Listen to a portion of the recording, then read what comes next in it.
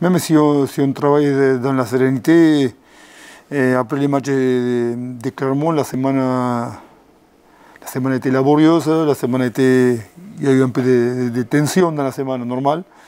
Et vous savez, quand, quand, tu gagnes, c'est un peu plus facile la semaine, sachant qu'on change de compétition, qu'on a envie de, garder cette dynamique, qu'on a envie de, garder cet état d'esprit. On a envie de, de continuer à, prendre de la confiance. à la Coupe d'Europe, on sait que ce n'est pas, pas un petit niveau, quoi. que ce soit la Challenge Cup ou la Champions Cup, le niveau il est très élevé. On le voit en face, on a Halloween Jones qui est capitaine du Pays de Galles. Il y a 150 sélections quand même. Il y a Rhys Webb, il y a des, beaux, des gros morceaux.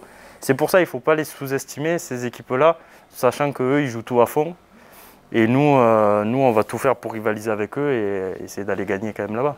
Moi, je pense que c'est stratégiquement et collectivement que ça va se jouer. Quoi. Si on est euh, dans l'envie, on est très fort et qu'on est unis, on a beau avoir euh, la meilleure stratégie du monde, mais s'il y a une équipe en face qui est très, très unie et collective, c'est très dur de la jouer.